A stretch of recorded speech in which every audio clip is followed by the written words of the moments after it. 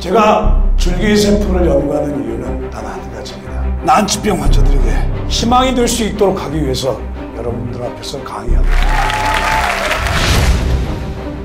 막말로 돌도 씹어먹던 였겠네요.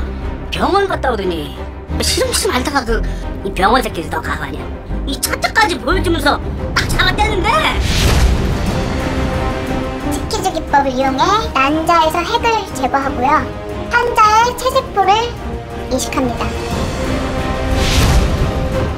줄기세포 복제에 성공한다고 해서 난치병 치료가 금방 되는 것도 아니고 암으로 전이될 확률이 높다는 게 합심한 세포인 셈입니다. 방송국 앞은 수많은 취재진들로 북새통을 이루고 있는데요. 이미 PD 추적 시청자 게시판에는 취재 윤리를 어기고 무리하게 취재를 진행한 PD 추적팀에 대한 비난과 항의 글들이 쇄도하고 있고 몇몇 단체들은 벌써부터 실력 행사에 나설 움직임을 보이고 있습니다.